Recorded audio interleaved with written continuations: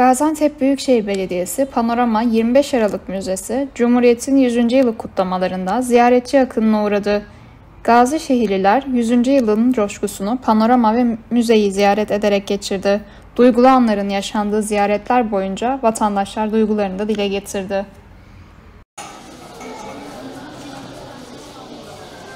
Öncelikle böyle bir milli gurur yaşadık, duygularımızı kabarttı.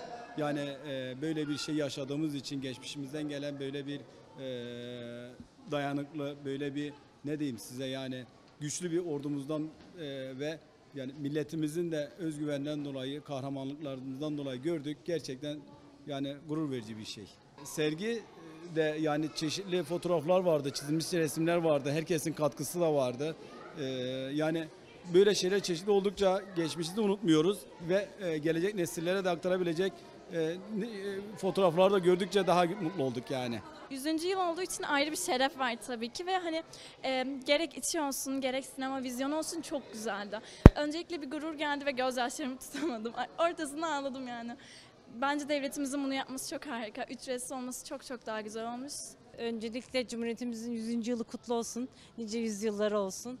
Ee, gün içerisinde e, de televizyondan diğer şehirlerdeki kutlamaları biraz izledik. Kızımız katıldı valiliğin e, kutlamalarına. Biz de bugün anlam ve önemine buraya bir gidelim dedik. Savaş Müzesi'nde ge- gezmeyi düşünüyoruz. Yani e, bu ülke kolay kurulmamış, onu öğrendik. Ee, özellikle aşağıda müzenin çıkışına doğru e, canlandırma yapmışlar. Antep'in nasıl ateş altında olduğunu, halkın nasıl savunduğunu. Yani gerçekten e, duygularımız kabardı yani. İlk- Güzeldi, çok güzel. İlk defa geziyoruz. Aslında daha önce burası e, açıldı ama biz ilk defa geziyoruz. Ya özellikle o üst bölümdeki o e, canlılık, o böyle sanki kendimizi o sanki biz de o savaşın içindeymişiz. Bir, o insanlarla biz de varmışız gibi bir his geldi. O e, efektler, müzikler işte o insanlara yapılan aynı şekilde yüz mimikleri çok böyle etkiledi yani açıkçası. Hem de dediğiniz gibi böyle bir günde gelmek de ayrıca bize gurur verdi yani.